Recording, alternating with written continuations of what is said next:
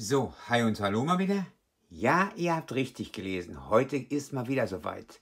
Star Wars, bau deinen X-Wing. Ich habe heute ein bisschen Motivation, ich habe ein bisschen Zeit, um meinen dritten Motor einzubauen. Ja, ihr wisst ja, das ist mein dritter. Hier ist der erste, wo auch viele Steckplätze gefehlt haben. Und dort drinne ist ja noch mein zweiter, den ich natürlich jetzt auch austauschen muss weil der Motor, der war ja verschrottet, die Zahnräder. Der Motor an sich, der funktioniert noch, habe ich, habe ich einen neuen bekommen. Diesen habe ich ja auch im Video gezeigt, angeschlossen und es funktionierte nichts mehr. So, ich habe natürlich alles überprüft, alle Steckplätze mal rausgenommen, wieder vernünftig reingesteckt. Es funktionierte nicht. Ich habe natürlich die Batterien ausprobiert, gewechselt, Woanders liefen die Batterien, nur nicht in den X-Wing. Dann hat mir einer gesagt, ich hätte auf die Fernbedienung aufpassen müssen. Ich habe in beide Batterien reingetan. Es funktioniert nichts. Und deswegen baue ich heute meine dritte und letzte Platte ein. Ja, meine dritte und letzte. Das heißt, ich werde jetzt auch aus der ganzen Fernbedienung die Batterien rausnehmen, die Platte ausbauen, sie alles nach der Seite hinpacken dann erst das Magazin, das neue, was ich ja umsonst bekommen habe. Das, die Ausgabe 67, die Platine rausnehmen, die Fernbedienung zusammenbauen. Alles wieder vorsichtig, vernünftig zusammenstecken. Dann werde ich gleich einen Zwischenbericht machen, ob die Platine läuft. Man sieht es ja dann, wenn die Flügel angeschlossen sind oder nur der Motor.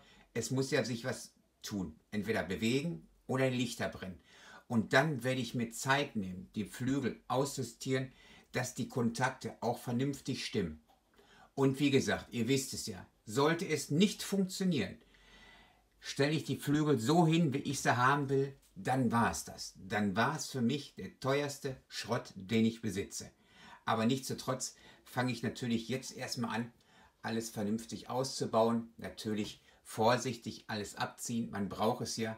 Und dann natürlich die neue Platte einsetzen, dann den ersten Zwischenvideo machen, Haupt es funktioniert, Haupt es läuft. Aber bis dahin werde ich jetzt das Video auf jeden Fall unterbrechen, dass es nicht zu lang wird und sage mal bis gleich.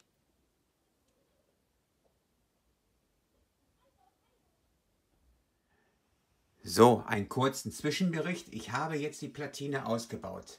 Wenn ihr die Platine ausbauen müsst oder Stecke, Stecker abziehen müsst, passt bitte auf, weil ich habe wirklich vorsichtig gearbeitet. Diese Steckplätze, die auf die Platine sind, die gehen einfach so ab. Okay, man kann sie einfach wieder problematisch reinstecken.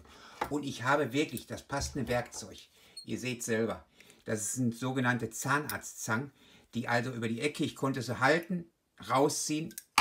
Es hat sich kaum was bewegt, aber trotzdem habe ich die Steckplätze mit rausgezogen. Also, wenn ihr da dran müsst, das Kabel wechseln, weil ihr 13 und 14 vertan habt, oder, oder, oder, passt bitte auf. Die Platinen sind wirklich ganz minderwertig zusammengesetzt. Aber das wisst ihr ja aus anderen Videos. Und jetzt werde ich natürlich alles wieder neu zusammenbauen und melde mich gleich nochmal wieder. Deswegen bis gleich. So, und mal wieder ein kleines Zwischenfazit, um diese Platte, die ersten Kabel einzustecken, gefühlt einen halben Tag gebraucht. Nein, aber wirklich über eine halbe Stunde. Vorsichtig hineingedrückt, so dass nirgendwo angekratzt wird, dass vielleicht eine Nullstelle beschädigt wird oder sowas. Wirklich diesmal richtig lange Zeit gelassen. Über eine halbe Stunde nur für die paar Kabel, den Motor eingesetzt, das war's. Die Flügel sind natürlich noch lose, aber ihr wisst ja, das Corpus Delicti ist ja nicht unten gerade, es wackelt ja. Da habe ich mir aus Lego, seht ihr das vielleicht, einen Ständer gebaut, dass der perfekt gerade ist, nur nach hinten hin beweglich ist und da natürlich passend zu die Flügel. Er ist jetzt absolut in Waage.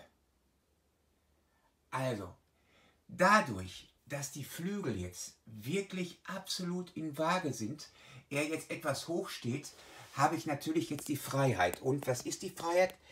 Der Flügel. Schaut mal.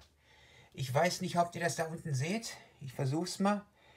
Seht ihr, der Pin, der Plastikpin vom Flügel ist genau an den Kontakte drauf. Er drückt drauf. Das heißt, er steht da. Es ist perfekt zusammengebaut. Es gibt nichts auszusitzen. Jetzt werde ich natürlich vorsichtig die Stifte wieder einsetzen, dass es absolut passt. Dann natürlich die restlichen Kabel und dann müsste es laufen. Hoffentlich. Wie gesagt, es ist die dritte Platine, nicht der Motor. Ich habe mich vertan, aber ich war wütend. Wie gesagt, die dritte Platine, zweiter Motor, den ich jetzt eingebaut habe. Und jetzt hoffentlich muss es absolut stimmen. Und deswegen, bei mir sind die Flügel perfekt gerade. Dadurch ist der Kontaktschalter hier vorne, na, so seht ihr das vielleicht, natürlich dann ausgelöst. Und jetzt baue ich natürlich, wie gesagt, die Stangen ein und melde mich gleich wieder. So, habe natürlich den Lego-Ständer höher gebaut für die Flügel, dass die auseinandergehen. Ich habe alles vernünftig, sorgfältig angeschlossen. Bis auf die 20 eben, aber sonst alles wunderbar. Aber ihr seht, der eine Flügel kippt immer auseinander. Grund richtig nicht stabil, aber einige haben das ja schon geschrieben. Zweitens, habe gerade, bevor ich das natürlich aufnehme, einmal ganz kurz den Stecker angemacht, Strom. Die ganze Beleuchtung funktioniert. Sie funktioniert tadellos. Dann wollte ich natürlich weiterhin gucken. Dann kam hier raus Qualm. Der Motor ging nicht an, es qualmte nur. Das bedeutet, er ist wahrscheinlich wieder kaputt. Ich werde jetzt noch einmal den Motor ausbauen, nochmal gucken, was da durchgebrannt ist. Wenn nicht, ist es für mich der teuerste Schrott, den ich besitze. Wie gesagt, werde ich auf jeden Fall noch berichten. Wenn es nicht funktioniert, jetzt gleich bei dem nächsten Test, weil ich den Motor jetzt nochmal ausbaue, werde ich die Flügel so stellen, wie ich sie haben will, festmachen, dann ist das der teuerste Schrott, den ich besitze. Also nochmals bis gleich. So, habe alles nochmal ausgebaut. Habe wirklich wieder ziemlich viel Zeit dafür gebraucht, weil ich Perfektionist bin und die Stangen alles. Habe den Motor auseinandergenommen, ob vielleicht sich ein Zahnrad verklemmt hat, weil es gequalmt hat. Nein, ich kam nicht auf die Idee. Und dann, als ich wieder zusammengebaut habe, dann fiel mir was ein. Halt, stopp. Was ja ziemlich wichtig ist. Steckplatz 13 und 14 vertauschen. Ja, ich habe das vorhin nicht gemacht. Also, Kabel Nummer 14 kommt in 13 rein. Kabel Nummer 13 in 14.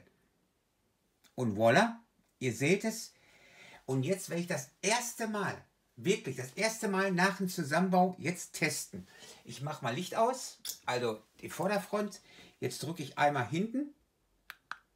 Ihr seht, die Beleuchtung, sie funktioniert. Die hinterste Beleuchtung, ihr seht es hinten an der Wand, sie funktioniert. Und jetzt kommt das Wichtigste. Funktioniert es oder nicht? Ich werde sofort dann natürlich den Ausschalter machen. Und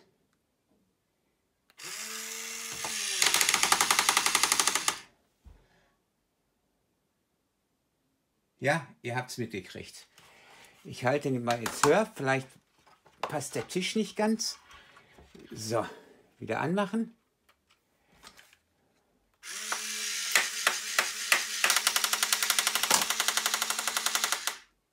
Nein, ihr seht es selber, er ist ziemlich weit auseinandergegangen, richtig groß auseinander. Ob das so richtig ist, weiß ich natürlich auch nicht. Schaut euch mal das Ergebnis an und das kann es nicht sein. Ich teste jetzt doch mal, weil jetzt kann er ruhig kaputt gehen. Ich, wie gesagt, ich stelle den so ein, dass ich ihn will und dann ist mir das sowas von egal. Licht. Licht. Licht.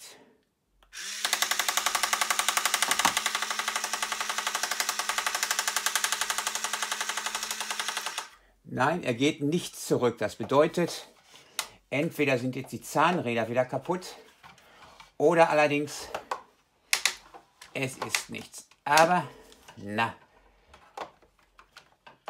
So, ich werde ihn jetzt so zusammenbauen, die Flügel so wie ich den haben möchte, den Motor kurz schließen, dass der Motor nicht mehr betätigt werden kann an der Fernbedienung und dann war es das für mich. Ihr könnt euch nicht vorstellen, wie ich mich fühle, was ich mit diesem X-Win jetzt machen könnte. Einige von euch wissen das bestimmt, was ich damit jetzt machen könnte. Aber diese Stellung ist mir ein wenig zu hoch. Ich mache sie noch ein bisschen zusammen.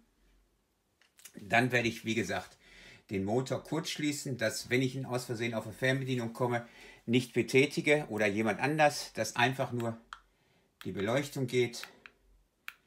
Und das war es dann wirklich. Motor aus, das war's. Ist dann auch bei mir nicht ganz, ja doch, der teuerste Schrott, der bei mir rumsteht. Ist so. Weil er funktioniert ja nicht richtig, aber einige von euch haben mir auch schon geschrieben, dass es bei euch funktioniert hat. Aber irgendwann, wenn man die dritte Platine, zweiten Motor eingebaut hat, dann hat man die Schnauze voll. Das ist einfach so. So ist es bei mir jetzt auch. Ich finde es natürlich richtig gut von euch, dass ihr mir immer die Kommentare schreibt, aber auch, dass es bei euch einigermaßen klappt. Ihr schreibt mir natürlich in die Kommentare, klappt es bei euch endlich? Funktioniert es? Oder habt ihr auch schon aufgegeben? All das könnt ihr, sollt ihr, für mich und alle anderen natürlich, posten, kommentieren, ganz wie ihr es sehen wollt. Und wie gesagt, ich baue jetzt so weit zusammen, bis zu die neueste Ausgabe, 82 war das, glaube ich, zuletzt. Jetzt Mittwoch hoffentlich die 83 rauskommt, dass ich den weiterbau. Aber bei mir werden die Flügel nicht funktionieren. Ich nehme die jetzt nochmal ab, Stangen raus, Motor raus, Motor nicht mehr anschließen, alles natürlich wieder einbauen, dass der Motor drin ist. Es kann ja sein, dass die Zahnräder den ein bisschen auf Spannung halten. Flügel etwas zusammen, das war es für mich. Also wie gesagt, mein X-Wing kann die Flügel nicht auf und zu machen, nur die Beleuchtung wird gehen und ich hoffe alles andere auch. Aber das wird sich in der Zukunft zeigen, wenn man den weiter zusammenbaut. Und ihr schreibt mir natürlich für mich und alle anderen, klappt es bei euch. Ich freue mich für euch, wenn es klappt. Wenn es auch ärgerlich ist, ich kann euch verstehen. Aber nichtsdestotrotz, das war es mal wieder. Es hat nicht geklappt bei mir. Ich habe auch keine Lust mehr, den jedes Mal zusammenzubauen, auseinanderzubauen. Aber es ist wahrscheinlich irgendwann Verständnis. Deswegen, ich freue mich auf eure Kommentare, was ihr schreibt. Haupt es bei euch klappt. Und ich sage, hoffentlich ist Mittwoch die Ausgabe 83 da. Und sage, wie immer, Bleibt auf jeden Fall gesund, guckt hin und schaut zu.